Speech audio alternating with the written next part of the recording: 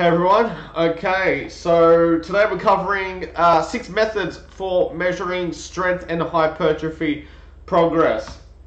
So, for measuring progress, what we will be discussing, well, as the title page says, this is going to be both relevant for strength and physique goals. Now, in terms of measuring progress, it's not going to be the usual of you're thinking of getting a DEXA scan or body weight or things like that. More so, we're looking at how can we quantify progress via your performance in the gym. Which, for one, for strength goals, obviously, if you're getting stronger, you're getting stronger. If your numbers are going up, then obviously you're progressing. For physique goals, muscle muscle hypertrophy is a byproduct of performance. So, firstly, your performance is going to go up. You're going to be handling more training volume. Uh, you're going to be getting stronger over a range of rep ranges. So, if you're getting stronger over rep ranges of 10, 8, 6s, 4s, if you just find your strength is increasing, well, then this is a really good sign that you were gaining muscle.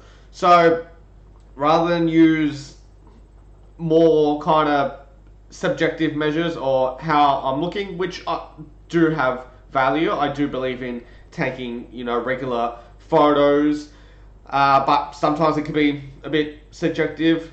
Uh, also, when you're using things like the uh, DEXA scans and uh, the the InBody scans, there are inaccuracies in that if you're doing it at different times of the day, if you're carbohydrate depleted, how much water you drank, all these things can affect the end result that they give.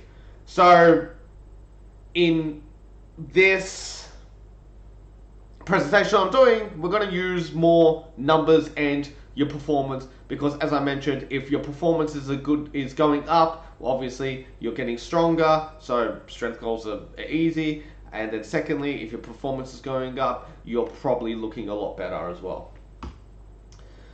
So the first important thing before I go through all of the methods, it is very important that you have some exercises which are consistently always in your training program. Common issue that I always see in the gym is people are doing different exercises each week. If you're changing up your exercises each week, you're not getting a chance to adapt to those exercises. And then, furthermore, for the point of this presentation, how are you going to measure your progress if you're always chopping and changing stuff? So, we want to have uh, some exercises in our program, kind of like our core movements that are always in the program. So, for powerlifting, this is easy because you're always going to be doing the comp lifts. You're always going to be doing a squat, bench press, and deadlift. However, for those who uh, have no, um, I can't think of the word that I want to use, no interest of competing in powerlifting, just want to generally get stronger, or for bodybuilders who don't necessarily have to or want to perform squats and, and deadlifts, you don't have to do these movements, okay? They are they are very good movements, but you don't necessarily have to do them. But you should select some exercises which are relevant to your goals and what you enjoy and potentially work around injuries. Some people maybe when they squat or deadlift they just always get really beat up and always hurting their back or hurting their knees and whatnot. So they just have to and they just find they don't get kind of they can't string training blocks together because they just kept getting getting injured and they just don't like those exercises. That's fine. You don't necessarily have to do squats, deadlifts, bench presses. But I done a little. This isn't like a full extensive list. I'm just giving you some examples. So again, these are for kind of more the the general strength and bodybuilders. Some core movements that you may pick which are consistently always in your program so you can measure progress, which I'm going to go over after this. for leg extension movements, like you might do a hack squat, uh, stiff leg deadlift, leg presses, a hip hinge. You might do a hex bar deadlift instead of regular deadlift. Hip thrust, like if your goal, hip thrust, if your goal is to get more for the, the females, and the guys, I don't see anything wrong with this too. If you just want to get really good glutes, the hip thrust is going to be one of the best exercises to improve glute size and hypertrophy. So I would suggest that hip thrust is going to be one of the core movements that you are going to do because if your hip thrust strength is going up, well guess what? Your butt is probably looking a lot better. Um, so again, back movements, you might do T-bar rows, Pendlay rows, bent over rows, shoulders, overhead press, a dumbbell shoulder press, uh, chest. Again, you don't have to do a bench press. You might prefer doing an incline press, um, a dumbbell press. I didn't put maybe even you might do a, a machine press. However, with all these movements, you have to maintain consistency in your form. So what do I mean by that? In in powerlifting, you for the squat, obviously there's a certain depth that you have to make, you have to achieve in a, a full lockout. Okay, so there is consistency in the technique. If you're using like a leg press, for example, make each repetition consistent. So when you're testing this exercise over time, the it's it's always you're always doing the same type of rep. So for the leg press, what I do when I'm leg pressing, and I think what most people should do, is I will set the stopper at a point that I'm getting a full range of motion, okay, I will bring the plate down. I'll bring my legs down all the way till the plate hits the stopper. I do a dead pause and then I will push up. Then I know my repetition, the, the, the range of motion of my repetition is the, exactly the same each time. Another common issue in the gym is people will load the leg press up with lots and lots of weight and then the range of motion gets smaller and smaller and smaller. So, as I say down here, are you getting stronger because you're getting stronger or because you're making the lift easier? Are you getting stronger on the leg press because your legs are getting stronger or is it because you're, you know, reducing the range of motion? So keep some sort of consistency. One more example I'll give you is a, a bent over row. So what you can do if you want to maintain consistency in that, how I would do this is I would do a bent over row in the squat rack. I would set the stoppers at the range where my arms are going to be full extension. Okay, so when I'm doing my row, the bar is from a kind of dead stop. I know it's in the same range of motion each time. I'm going to bring it up till it touches kind of like my, my stomach or around my belly button area, wherever the bar comes up in a bent over row on you, okay? touches the rack at the start, touches my belly at the end, and I am not swinging. I am maintaining consistency in my technique every time I do the movement. So this is going to be very important in these core movements which you select, which you are going to be measuring performance on to see if you're progressing. So, the first common method that all of us know, but I'm going to just go over some things to consider, is just maximum strength testing. So this is just like doing like a one rep max, okay? However, you don't have to perform a one rep max. You might do a 1 RM, you might do a 3 RM, you might do a 5 RM, you might do an 8 RM. Okay? You don't necessarily have to do a 1 rep, a one rep max test and I'll explain why. So, especially for powerlifters, or just for everyone in general, peak strength, like as in one rep max, your, your one rep max, peak strength may only happen a few times a year. You can't expect to PR your one, one RM all year round. So, if you've been doing like a a volume block where your repetitions are higher, you're doing like eights and tens, well, you may be getting stronger in the 8 and 10 rep ranges because you're accumulating volume, but you might find that your 1RM, your, your yeah, sorry, your 1RM might actually drop a little bit because you're just not training in those lower rep ranges, okay? So if you did like back-to-back volume blocks, let's say you did say four volume volume blocks uh, in a row, you tested your 1RM before those volume blocks, okay, and then you and you say you squatted 160 kilos, all right, and then for whatever reason you just kept doing volume, volume, volume. Uh, you might be a bodybuilder, and obviously volume is important to you. Doing heaps of volume, and you never really got into those lower rep ranges. You never did singles, doubles, triples, anything under five. Okay, you do four training blocks, and let's say like 20 weeks later, you decide to test your one rep max again. Your first one rep max, I think I said 170 kilos, did I say? Let's just say I said 170 kilos. Your one rep max before all that volume was 170. You test your one rep max after, and you might actually find it's only 165 kilos. Okay, that might not necessarily happen, but I'm just giving an example that if you don't train in those lower rep ranges or anything around your 1RM, that your, your 1RM may not actually go up a whole lot.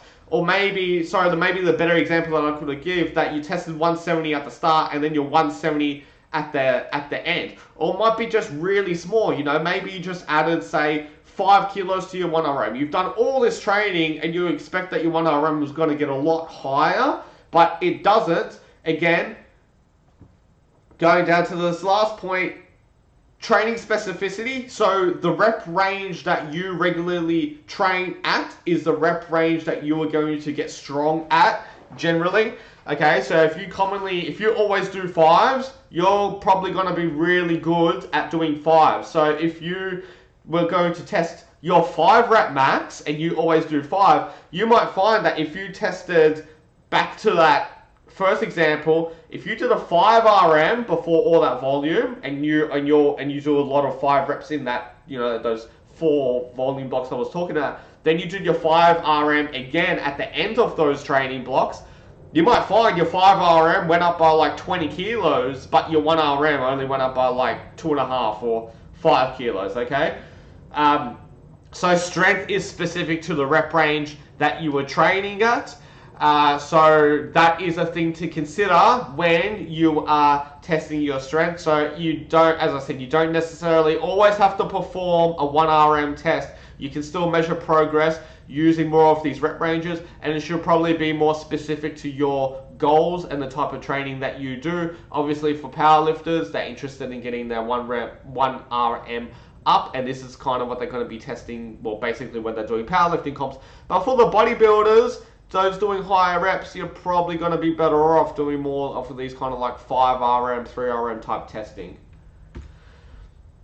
So, when should you test your strength? So, this is, you have to weigh up the considerations between fatigue and the importance of testing. So, what I mean by that, when you do all out maximum effort te testing. In particular, if you were testing a few exercises, either you're doing it all in a single day, like for a, for a powerlifter doing like a squat, squat, bench press, or deadlift, or if you're doing a body build, a bodybuilder, you might be doing like a squat, bench press, deadlift. You might be doing a, a, a bent over row, an overhead press. You might be doing a whole range of exercises. Testing all those in one day is going to generate a lot of fatigue. Test, testing that even in the week, if you split up, split them up over the week, uh, that's going to be a little bit fatiguing as well.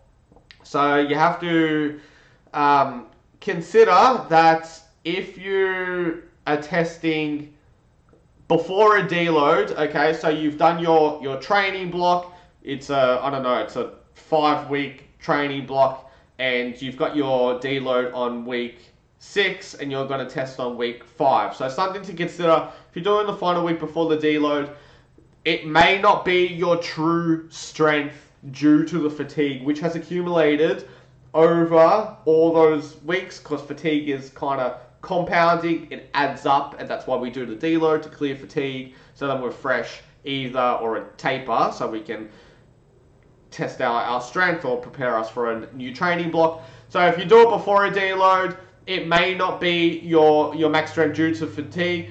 However, it will provide you a ballpark figure of where you're at.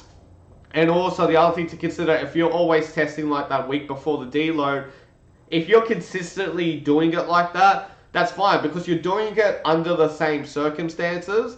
Okay, so if you're always testing on that final week, you're always going to have like a very similar amount of fatigue by that end of that training block. So it's going to be a very reliable measure because you're always doing it at the same time. Versus if you do kind of like one test and you do it at the uh, the final week before a deload, but then your next test you do it after a taper. Well, obviously, the week that you did before testing before you deload is probably your strength is going to be a lot lower relative to if you did a test when you're fresh after a taper. And then pretend, let's say for the next testing, you did it again before the deload, okay?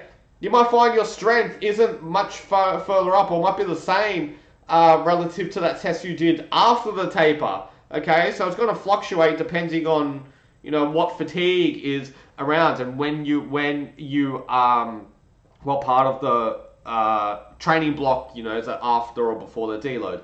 Um, the positive of training before the deload is, as I said, that when you are doing maximum effort testing, you are going to it's it's fatiguing. Okay, uh, if you do it in that final week before the deload, and then you're doing a taper, or sorry, if you're doing a deload um, after your testing, well then you're going to be resting after your your testing. So the fatigue from the testing isn't going to carry over to your next training block. All right, so doing it before on that final week of the deload, you won't have fatigue carrying over to the next training block.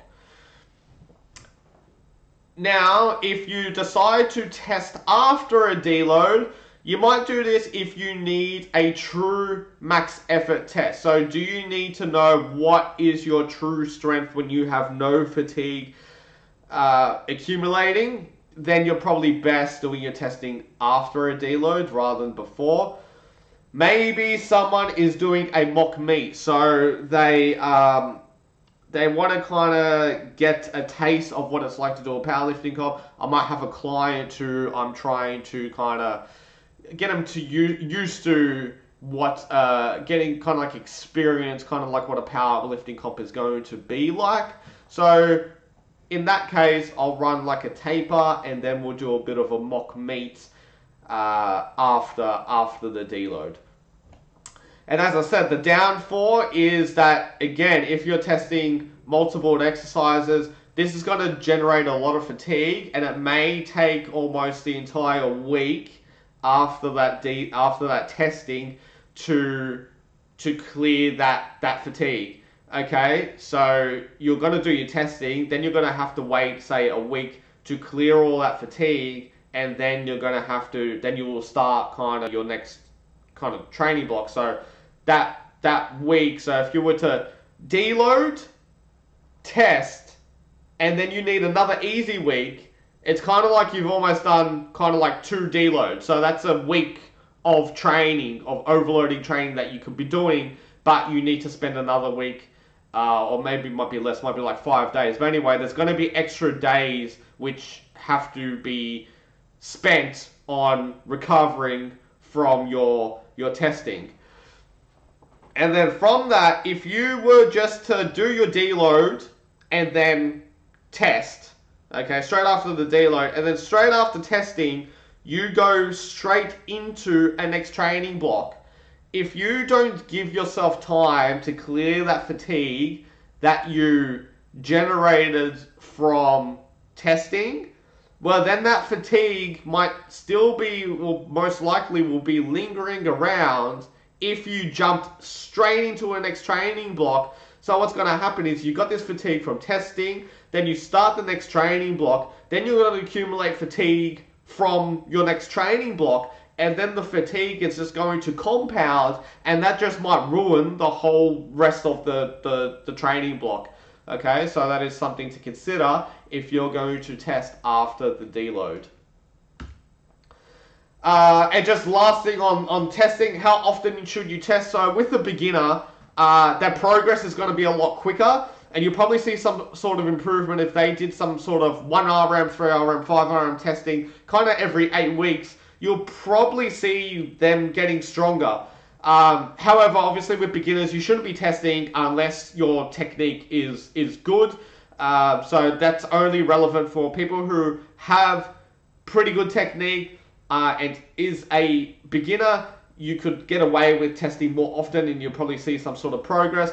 Someone who's more experienced, it's going to take a lot longer to bring out or to show progress. So for someone more experienced, I'd probably recommend at least kind of 16 weeks before for testing for like particular true like maximum effort testing, like all out.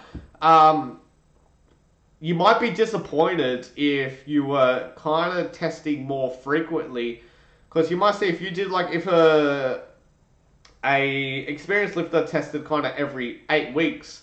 It might not it might not even be long enough to to see improvements in strength. In eight weeks what you might do two volume blocks and you haven't even done a strength block yet. So you wouldn't even have time for your your um, 1rm strength to to go up. So for more experience i would drag it out a little bit further and then again going back off that fatigue so if a, a beginner doing testing relative to their body weight. So if they if they can if they're squatting say one and a half times their body weight, the amount of fatigue, the amount of stress on their body is going to be a lot lower relative to if you get some like elite level powerlifter who can do triple body weight squats. To recover from that triple body weight squats, or the fatigue that triple body weight squats is going to put on an experienced lifter is going to be a lot larger. So if you were doing frequent testing as an experienced person, again, you've got to have this fatigue. You're going to be spending time clearing this fatigue, which that time can be better spent doing overloading training. So over the long term, you can be improving your strength or even improving your your muscle mass, okay? So going from that, so we had the problem of generating too much fatigue or a lot of fatigue from doing kind of these all-out strength tests. But you don't have to always do an all-out RPE 10 test. It does not have to be a maximum effort test again, this can be both um, before a deload or after the deload. You can work up to some heavy singles at like an 8 RPE, a 9 RPE. Um, from that, what you can do is if you got a if you got a if you did a single at a, a 8 RPE or a 9 RPE, you can use an estimated 1RM calculator, which I'm I'll go show um, in future slides. Uh, and then that will kind of guesstimate where your 1RM is. Uh, again, you can do that for like a 3 RM. You might be you might do a a, a 3 RM test at an 8 RPE. Okay, or might do a 5 RM test at a 8 RPE. All right, so with that, it's going to be, as I said, less fatiguing because you're not going to all out maximum effort. There's going to be less chance of injury, so obviously the more closer to failure you're going, the more the higher intensity, the greater chance that your technique that you'll get technical breakdown. Uh, so that's going to increase the chance of injury. However, if you be a bit more submaximal, there's less chance of getting an injury. And then, as I said, you can still have a you can still have a pretty good estimate of where your strength is if you use some sort of uh, estimated one RM uh, calculator a consideration to do if you are going to use some maximal these lower RPEs or higher repetition. So if you wanted to know what your your well that's sorry that's what the estimated 1RM calculator is because we're trying to find out your your 1RM. The higher the rep range is greater from 1 from your 1 rep max the higher the rep ranges and the lower the RPE, so the further away you are from failure, the less accurate the 1RM estimation is going to be. So that's something to consider if you're using multiple repetitions uh, and these lower submaximal RPEs if you wanted to find out what your estimated 1RM is. But if you're not really concerned about this, and as I said, you could just be measuring progress. You know, is my five reps going up because you might be a bodybuilder or a physique athlete or just uh, interested in just muscle hypertrophy. One RM strength is not really concerned to you. Then you don't really need to estimate a 1 RM. If your 5 RMs are going up over time, using the submaximal um, test, then that's that's fine. So next one is you can do a AMRAP set. So this is kind of similar to what I was talking about doing a 3RM or the 5RM test. So you might do it at the final week of a, of a training block or maybe you might do it every second training block. You can build up to a sub-maximal AMRAP set. So you might be on that, that last um, week of training, you're doing saying, uh, you've got a set of five on squats and you're doing like 150 kilos. So then rather than stopping at the five, you just keep going and see how many reps you can get and stop about, you know, one or two reps short uh, before failure. Why I say one or two reps short? Because I think if you do like a 10 max all the way maxed one, you again you run into that risk of injury, especially if you're doing multiple repetitions. Well, with a one rep max, you've got one chance of getting an injury. All right. If you're doing like an AMRAP of like 10, say, those first few reps might not be as risky, but once you get to set, you know, rep 5, 6, 7, 8, 9, 10, you've just increased your risk of injury by like another five times because you're doing a whole bunch of extra reps, okay? Um, so if we cut out kind of like those true max effort ones, we're going to reduce the, the risk of injury. We can stay a little bit more sub-maximal. Um, Again, you can do the AMRAP test. I said you can do it uh, at the end of the training block. You can do it after a deload, but again, you have to consider the fatigue and the carryover effects of what I talked about in the previous slides. Um, with the AMRAP, so you can do it in two ways. You can do it a final set AMRAP. So if you've got three sets of five on a on a squat, you might do set one for the five reps, set two for the five reps, and then the final set, set three, then you do your AMRAP set on that. The downfall of that is you may have fatigue from set one and set two, which is going to affect what you the reps you may achieve on that final set. Then the other way, you might do a first set and AMRAP set. So if you still, you know, you're just doing, you're still doing your usual training block or your your, your training week. So you're not just doing like an AMRAP week, you're still doing an AMRAP, but with the rest of your training. For the first set, you might do the AMRAP, and then sets two and three, you do your usual, whatever the program said, that five sets on, five reps on the, the squat. But then, something you have to consider, if you're doing an AMRAP set on that first set, but still need to get volume in, the fatigue on that from that first set may affect the volume in the following set. So something that's to consider.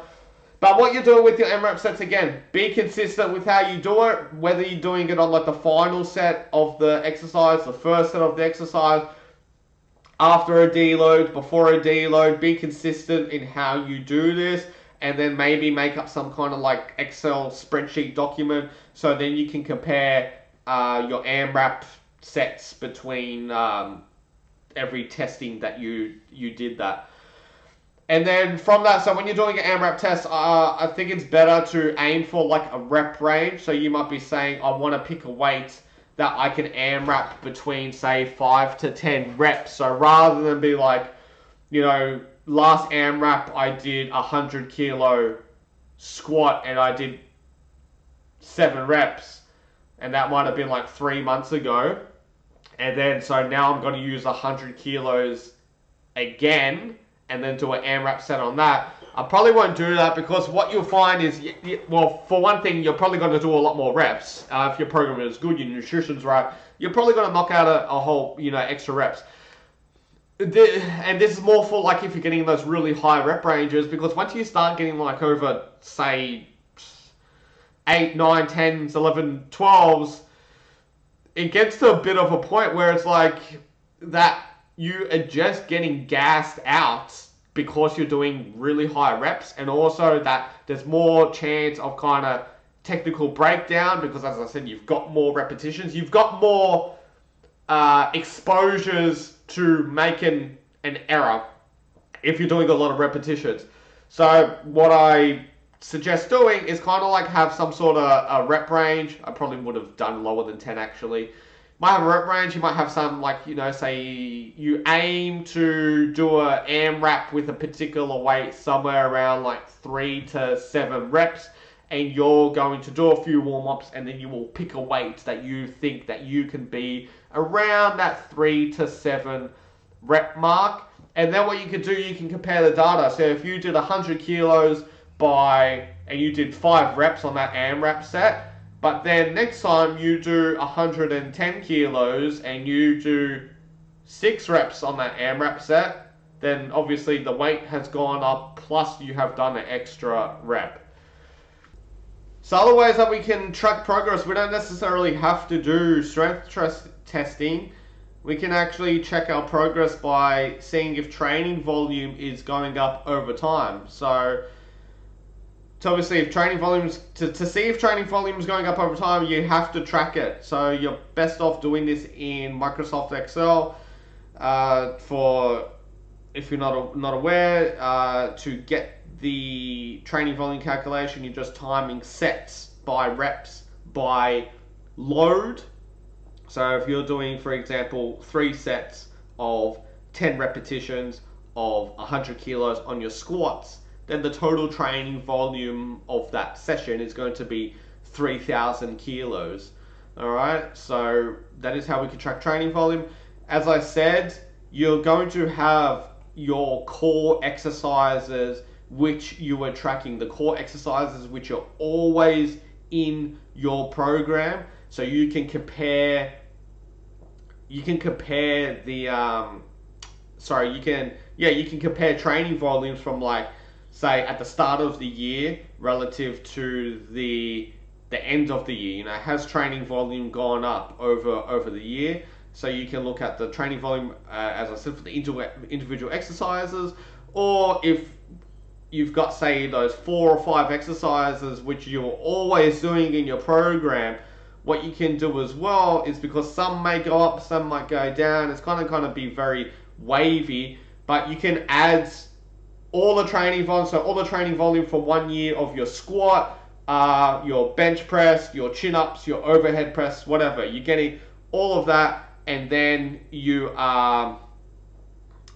you're getting a sum total okay? Sorry, I was meant to say not over the year, over the over the week, you're getting a sum total of the training volume of your whatever exercises are. So if you add your squat volume, bench press volume, chin up volume, shoulder press volume, all that volume, what's the sum of that? And then you can add that, then you can see it each week, and then you can see over the year is the total training volume of all your exercises going up. Okay, so basically you can look at training volume as an individual exercise and the total volume that you've been doing.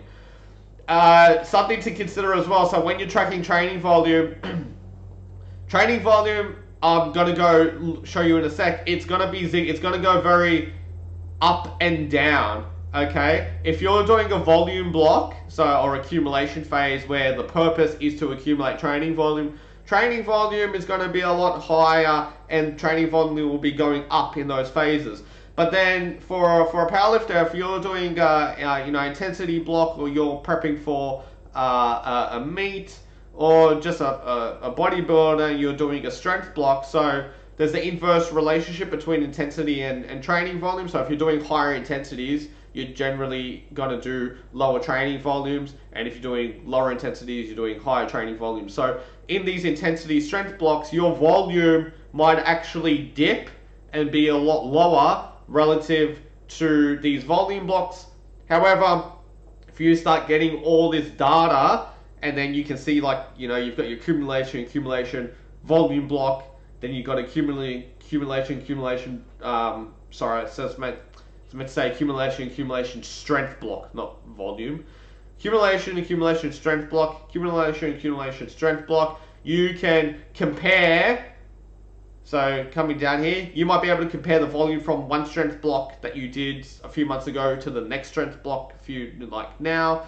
You can compare volume from your accumulation blocks to your accumulation blocks. You'll see these patterns, which I'll go over in a um, in a sec. Actually, I'll go over them right now. So this is 25 weeks of training. These are kind of arbitrary, somewhat arbitrary numbers I kind of made up just to give you an idea. So this is for the squat. We've got accumulation blocks, deloads, intensity blocks, okay? Just looking at, just look at this middle section here. So this is the tonnage. All right, we can see over the weeks that tonnage is going up for the deload. Obviously, volume decreases, then the volume increases, deload. For this intensity block, because the training intensity, as we can see, they're working between, you know, this 82 to 90% in this intensity block, whereas in this accumulation block, they were working at lower intensity. So as I said, there's an inverse relationship. If you're doing high intensities, you have to do lower volumes, as we can see here. If you're doing lower intensities, you can do higher volumes. And then if you look at here, this is exactly what's happening. So these are the volume block. We can see the volume over time. This was that first training, that first block here. Got peak volume of close to 4 ton. We did the deload. Then we started ramping up volume again peak volume by the end of this got to 4.2 ton. Then we did the deload. However, now here, this was an intensity block. Volume was still kind of increasing within that, but at a lower, but obviously it's a lot lower relative to here. Because with here, obviously we're still getting stronger each week. Um, let's say sets has stayed the same, reps has stayed the same. Maybe you're doing like four sets of threes on your lifts, okay? But you're getting stronger each week, so then the vol- then the volume might be going up a little bit. However, coming to this next intensity block here, the volume dropped again because maybe here they're only doing like singles and and doubles, okay? So the volume is going to be a lot lower. However, I forgot to mention this. You can see the intensity is going up. This shows that inverse relationship. If intensity is high, training volume is generally low. If intensity is low, training volume is generally high. But going off this, I've only got one intensity block, but we can compare the accumulation blocks. I said in the last slide that you can compare training block types. Okay, you can uh, compare accumulation with accumulation blocks or strength blocks with strength blocks. If we look at these accumulation blocks, look at these ones here. So the peak volume in this accumulation block, we got to 4.2 ton. But then the peak volume of this accumulation block got to 4.6 ton, which we can visually see here. So that's what I mean by comparing block types. If this went further and we compare the intensity block type, we might see that that was going up as well. And then again, I talked about the total training volume. So this this example here, I was just um, in Excel. This was summing someone's squats, bench press, and deadlift together, and then that's why the tonnage is very high. Again, it done that same wave like passion um, pattern, just like on the squat, and it and I did the average intensity. So in this one, I this was the average intensity of someone's squat. Okay but in the Excel document, I had a squat, and then I had another a deadlift um, column, and then a bench press, and that all had average intensity. So then I got the average. So for week one of your squat, deadlift, bench, I got the average intensity of all those three, and that's how I got this intensity here.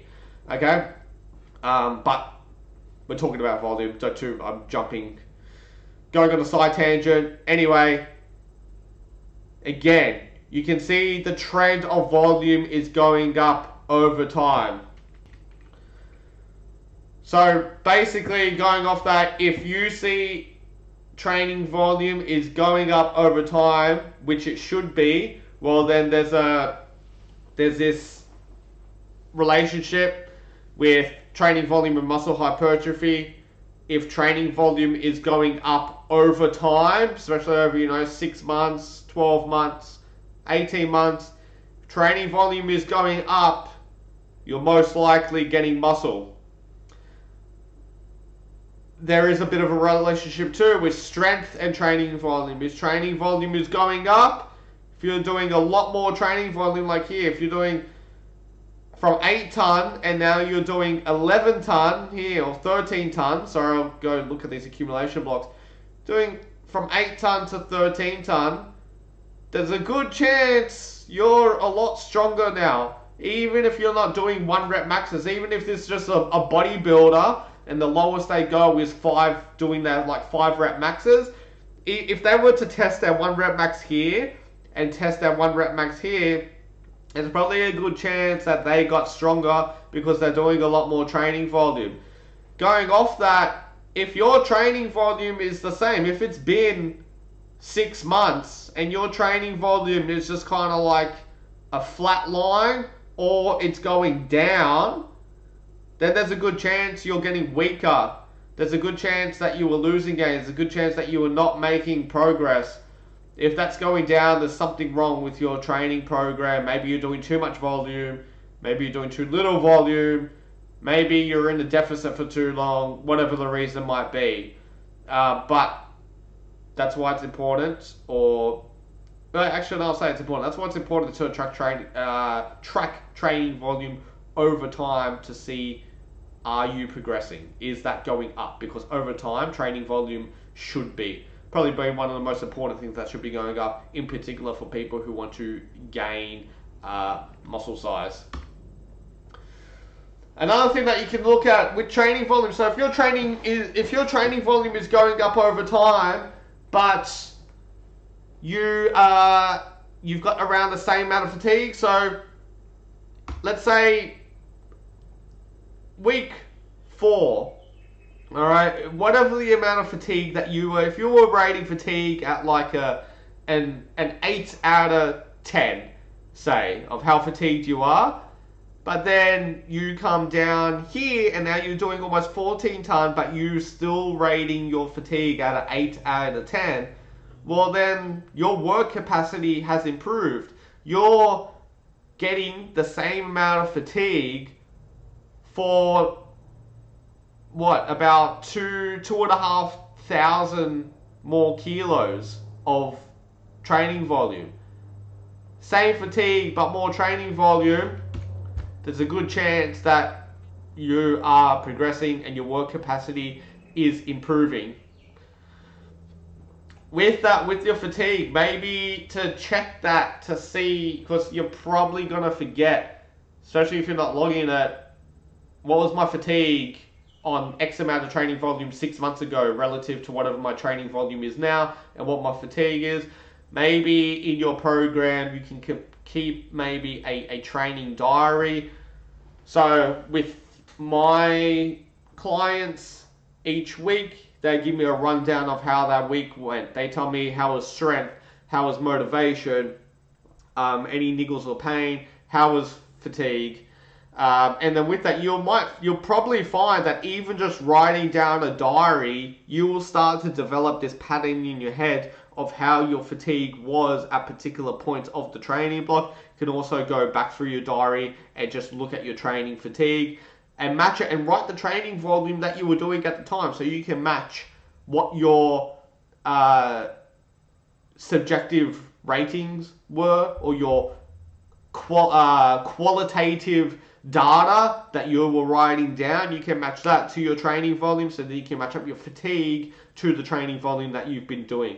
Um, and then with that to quantify fatigue, maybe you just might do a simple 1 to 10 scale on your program of fatigue, okay? Put that on your program, uh, make it something meaningful to you, might even do a 1 to 5 scale, okay? uh, each week you can log your fatigue so then you can compare, as I said, earlier training blocks with X amount of training volume, look at what fatigue score you would give those training blocks, and then six months from now, what training volume are you doing? What's your fatigue ratings that you were giving your training now? Is your vo- has your volume gone up and fatigue is staying around the same level over time? Then, as I said, your work capacity is probably improving over time, even though you uh, got the same fatigue but handling more training volume.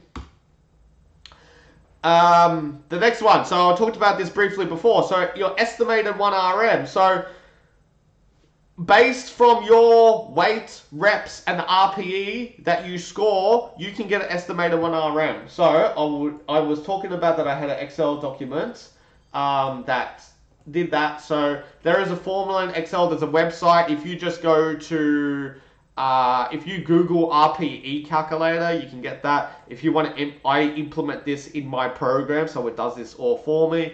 But if you did say five reps and you did 120 kilos and you rated that at a two repetitions in reserve, or that'd be an 8 RPE, that is going to give you an estimated 1 RM. All right. So over time, what I would have someone's uh, program when they are logging.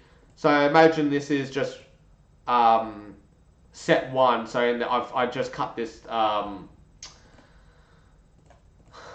I just hid everything just to make this clear for this. But if you got set one, set two, set three, you got a bunch of sets that they've logged. You're gonna estimate it estimated one RM. Then you've got week one, week two, week three, week four, week five, week six. You'll get a whole bunch of estimated 1RMs, and then you can see the trend over time. Is that going up? So, is there 1RM going up over time, which I'm going to show you in a sec. Sorry, I jumped ahead.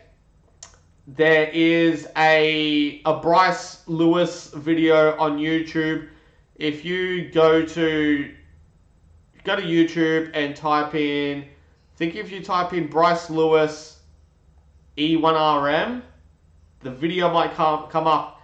Or if you just go to Bryce Lewis YouTube, type in Bryce Lewis, go to his YouTube channel, go through his videos and just scroll through the videos he's posted that it's a little bit old now, I think it's a couple of years old. He goes through the formula in how to create that in Microsoft Excel. That's how I learned it. I watched his video and then I made the formula in Excel and then I use it in my programs. So as I said, you can track 1RM over time. If your estimated 1RM is going up over time, then you're probably getting stronger. Even though you might not be doing a test, you might be not testing your one rep max. Okay, this is just from your training logs. Because as I said, you're going to be logging your training. This week you did 5 reps, 100 kilos, and a 3 repetitions reserve. Next week you did 5 reps at 102 and a half kilos at 2.5 repetitions reserve. You logging that, again, you're going to be getting over time a whole bunch of estimated 1RMs and then you can see if that's trending over time, which I will show you now. So go back to this same um,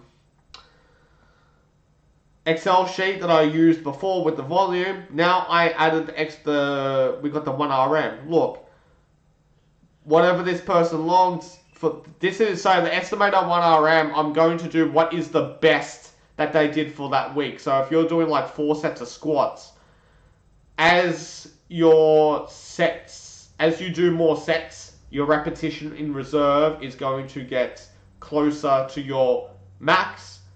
And then so that's going to make your 1RM go, estimated 1RM smaller. Sorry, just to show what I meant by that. If we rated this, if we did five reps with 120 kilos and we rate that as a, as a two repetition reserve, then that was pretty easy because you rated it as a four. Your estimated 1RM is at 157. Okay, if we rate that same lift, but it's only a two repetitions in reserve, you can see that drop to 148. So again, if you're doing multiple sets and this repetition in reserve or your RPE um, is getting harder and harder, then this is going to drop more and more. So what I'll be doing, I'll be getting the the the highest estimated 1RM out of all all the sets. And that is why on oh sorry, I should have done it from the current slide. That is why on this I've only just got a single estimated 1RM because it was the best of the week, okay? So going back to what I was saying, you can track your estimated 1RM over time. It may fluctuate, it might may go up and down, alright? But over time, we would we want to put a, a trend line, sorry, that is um that was the wrong one, sorry. This one. Your estimated 1RM might be going up and down over time, but if we put a trend line in, is that's improving, okay? Because some weeks you're going to be stronger than others. You might have deload. So deload, you're going to drop the intensity a little bit. You're going to be working at lower repetitions in reserve. Your estimated RM is going to go down in those deload weeks. Well, it's going to look like it's going down, okay? But then you start back up and it creeps back up.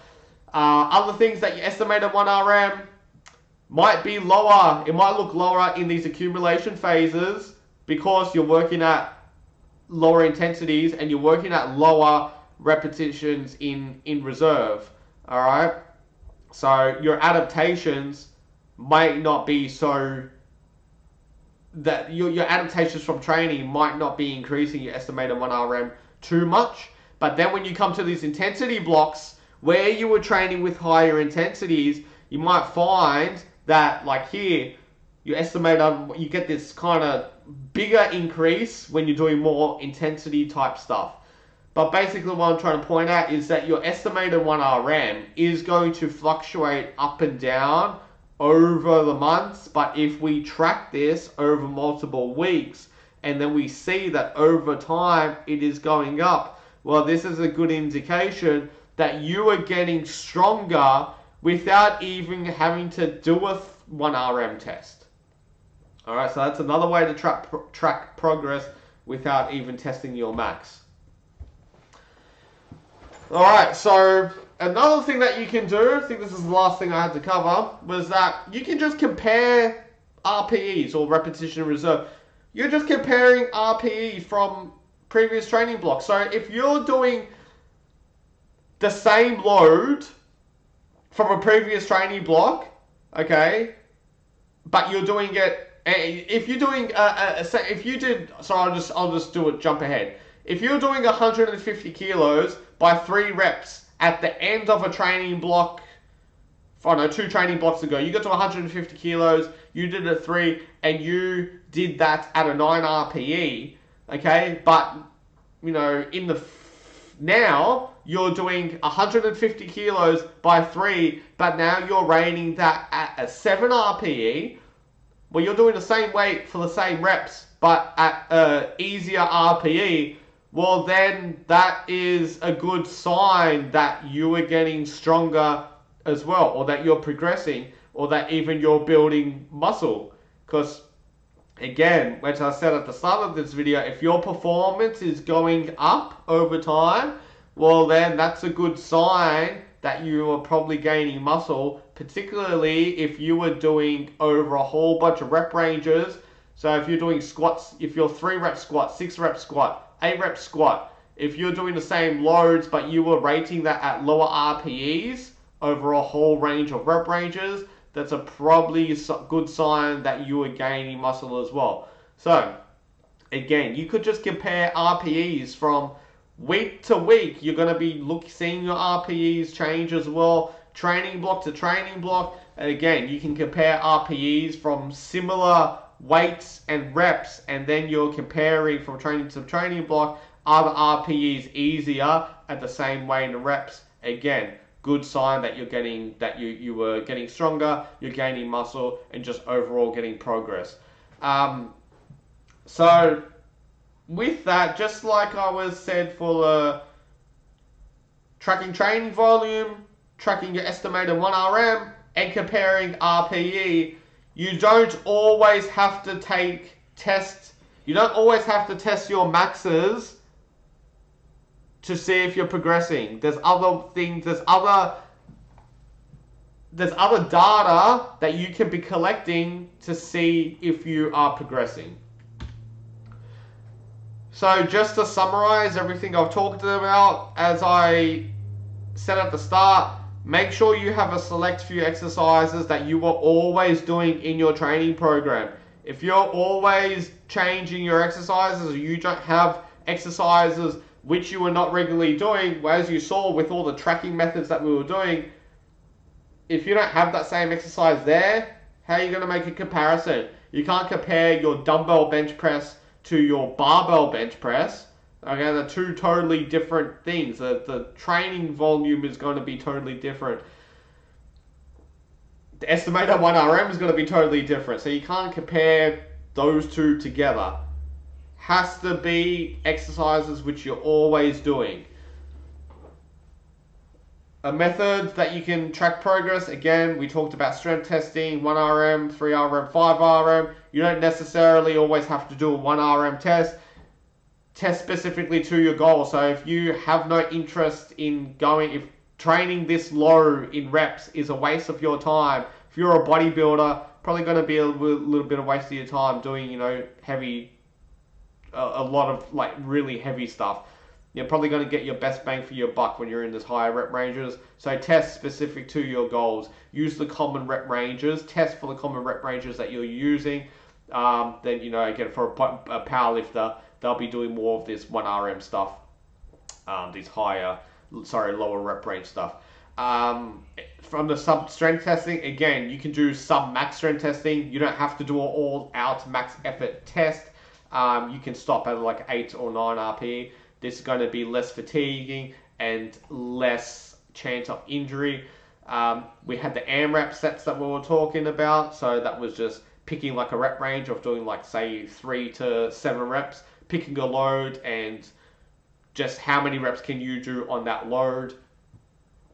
Um, we had the tracking of volume that you can do in Microsoft Excel. Uh, their estimated 1RM tracking again doing in uh, Microsoft Excel, or you can compare RPE from uh, previous training blocks or even week to week to see if you're lifting the same load for the same amount of reps, but the the rating of that your RP is a lot lower, whether that's a good chance, that's a not even a good chance, that's a pretty good sign that you were getting stronger, uh, potentially gaining muscle, but overall you're getting progress.